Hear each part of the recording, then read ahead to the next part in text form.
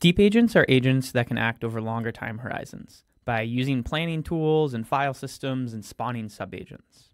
And you can pass them arbitrary tools for them to take action on. That introduces a problem. What do you do if some of these tools are sensitive and you want to have a human in the loop approval step before they get acted on? We just added the ability to approve, reject, and respond to tool calls in Deep Agents in a human in the loop manner. And in this video, I want to walk through that. In the README, we now have these docs on human in the loop support. You can see that the way that we specify the human in the loop support is to pass an interrupt config when creating the Deep Agent. The interrupt config is a mapping of the tool name to the human in the loop interaction patterns that you want to enable. There are a few different ones that you can enable. The three right now are allow accept, allow edit, and allow respond. Allow accept adds an interrupt and allows the human user to accept that tool call and it will just continue from there. Allow edit allows the human user to edit the tool call and maybe even the tool name that has been called and then continue with those edited arguments. And allow respond instead responds to the tool call and places the user's response in the tool message. So it doesn't actually execute any tool call. It rather mocks that out with the response and then sends that back to the model. You can also just specify true, and this will turn all three of these actions on by default. Let's now see how to use it in a notebook. So I've got my notebook here with the most recent version of Deep Agents, and I'm going to import create Deep Agent and then this LangChain core tools object. I'm going to mock out this tool that, if it was real, would be a sensitive tool, send email. I might want to add some human in the loop to approve any emails that are sent. The two arguments to this will be the content of the email and the recipient, a string. I'm now going to create my human in the loop config, and I'm going to have send email. This is the name of the tool, and I'm going to set that equal to true. So I'm going to be able to do all three of accept, edit, and respond. I'm going to create a really simple deep agent. So create deep agent with the send email tool with the instructions here, and then this human in the loop config. And now I'm going to set up the checkpointer. So the checkpointer is necessary because in order for human in the loop support to happen, there needs to be this checkpointer which will save the state of the agent at that point in time, at the point in time in which the interrupt occurs, and basically wait there indefinitely for the user to send in another signal, whether that's the accept or edit or response. This statefulness provided by the checkpointer is key for human in the loop settings. LangGraph has really good checkpointing and persistence layer, and it enables this human in the loop settings in a production ready way. And that's one of the main benefits of using LangGraph. So I'm going to create this checkpointer and I'm going to set agent.checkpointer to start using it. The other thing that I'm going to need to do now is when I invoke this deep agent, I'm going to need to pass in this config. This config is going to have the thread ID in the configurable fields. And so I can set this thread ID to be whatever I want, but I'll use distinct ones for different conversations so that it remembers which one is which. And the message that I'm going to use in a bunch of these examples is this one tell jim at gmail.com I'll be late. So this is a really simple message that I'm going to use to show off first the accept flow, then the edit flow, and lastly, the response flow. All right, awesome. Let's start by looking at the accept flow. Here, I'm going to use this thread ID of 1-accept just to keep it unique, and I'm going to stream the response of the agent as it goes through the nodes over this message that I'm passing in. And so I can see that the first message that will be streamed back is from the agent node. It has this AI message, and it has this tool call.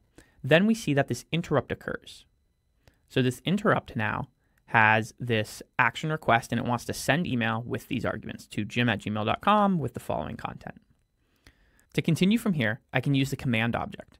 The command object is useful if I want to do something more complicated than just add on to the thread. And in this case, I want to pass back some response to the human interrupt. So I'm passing back this command object. I'm going to pass back this resume keyword argument, and I'm going to pass in a list of objects. Why am I passing in a list? So this interrupt, if you notice, the value is a list itself. So you can actually interrupt multiple times. That's actually disabled for deep agents, but in LangGraph in general, you can interact multiple times. And so that's why it's a list. The one argument I'm going to pass in is just this dictionary, and it's going to be type equals accept. There's no other arguments needed because accept is so simple. If we resume from there, we can see that it goes through this post model hook. That's where the interrupt is happening. It then prints out the email, and I have this in my tool. I have this in the mock tool to print out the email so I can see exactly what's happening. And then it goes into the tool node, or it gets the response from the tool node. That's what's just executed. It goes back to the agent. The agent then sends this final message, email sent. I've notified jim at gmail.com. And then it runs through the post model hook. There's now no interrupts in the post model hook, and so it finishes. And so that's the really simple accept flow. Let's now take a look at the edit flow. So here I'm using a different thread ID. So it's going to do a, a different conversation, but it's going to be the same message. And so we can see that up to here, it should look pretty similar. So I get the agent response. It's going to send an email to Jim, and I can see the interrupt here. Let's now go on to the edit action. So in here, I'm going to be using a different thread ID. So it's going to be taking the place of a different conversation, but I'm going to send the exact same message in as before. And so the first few steps should look pretty similar. I'm going to have this response from the agent node where I see these messages. The, the LLM's generating this AI message. I'll send an email to jim at gmail.com. And then I see this interrupt. Great. So now here's where things are going to change. So I'm still going to use command. I'm still going to use resume, but now the type is going to be edit. And I'm going to pass another thing, args. What's in args? So args is now a dictionary representing what the tool to execute instead should be. So I can see it has an action name, and this will be send email because this is the name of the tool that I have. And then the args here will be the arguments to that tool. And so I am now overwriting this with content field, I'll be late. So this is now going to be the new input to the email. Previously, you can see that the content was, hi, Jim, I wanted to let you know that I'll be running late today. So now it's just a simple thing. Recipient is going to be this. Great. So now let's resume here. We can see that we have this post model hook. This is basically just running and saying that we updated things. We can now see that we print out the email that we sent. And now it's just this really simple, I'll be late. So this affected the tool before it happened. And now it's executing on these new edited arguments. We can then see that the tool node runs. We can then see that the, the agent generates another response. Done. I've sent an email to jim at gmail.com letting him know that you'll be late. And then the post model hook runs again, and that's finished. So this is the editing flow. Let's now see the response flow. So again, I'm switching up the thread ID. Everything else is the same. This initial stuff should be pretty similar. I'm going to have a response from the agent node saying that it's it's drafted this tool call. It's tool calling the send email tool with these arguments. And now here's where things are going to be different again. So now the type is different. It's response. And the arguments, they exist, but they're just a string. And so this string is going to be used as the tool call message instead of actually running the tool. So just to repeat that, it's not going to call the tool when you pass back response. Rather, it's going to send this as the tool call message.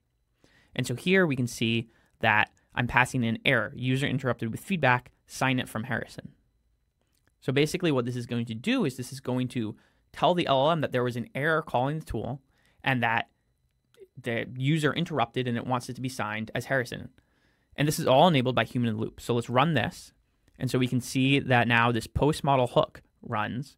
This post model hook adds a message. So it adds this message and it adds a tool call with the same tool call ID as before with the content error, user interrupted with feedback.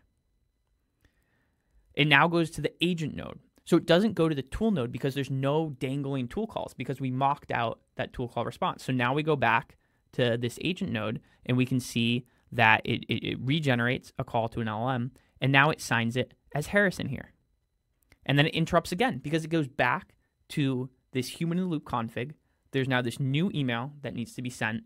And now I can accept it. And when I accept it, we can see that it now sends this email and again, it signs at Harrison and then it continues from. Let's take a look at how this last one looked in Langsmith because it will be pretty illustrative in terms of what happens in terms of threads, in particular with these responses. So you'll notice here that this is the run page. I can see all the runs I have here, but there's also this threads page. So this now tracks things as they occurred with this thread ID. So if I click here on this latest thread, I can see the interaction that I just had.